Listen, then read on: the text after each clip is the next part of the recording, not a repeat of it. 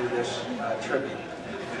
So anyway, I'm very happy to be with, with you. I was uh, so I, I can't tell you. Um, you know, last weekend was the first time that I had been back for town hall meetings in some time. I'd been back campaigning for various candidates, uh, for a lot of, of different events and speaking at different organizations. But first time, frankly, since 2000 that we've really gotten back into the old town hall meeting, what I think is the essence of democracy. And I can't tell you how uplifted Cindy and I were that uh, to, to, be back and, and have the, the incredible experience of, uh, of this kind of, of what America is all about. And I'm dead serious when I say that. It's just wonderful. And Cindy, thank you for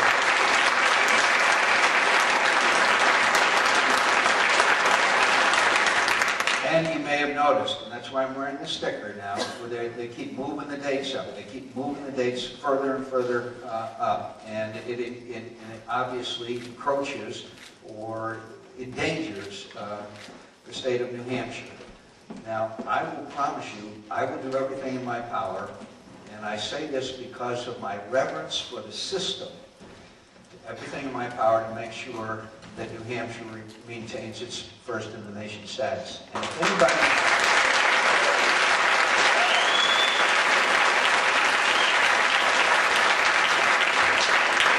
if anybody doesn't believe that New Hampshire is unique, they, they could just travel with me around the state as we go from town hall meeting to town hall meeting and see the kind of turnout that you get, see the kind of participation, see the kind of questions that you get.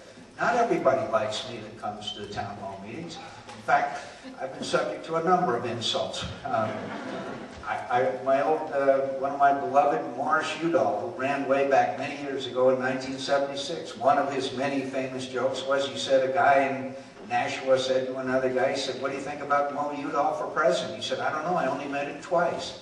Now the reason why that's funny is because it's true. Because people take their responsibility so seriously as we maintain New Hampshire's first in the nation status. And by the way, our old friend uh, Steve Duprey, our uh, former Republican Party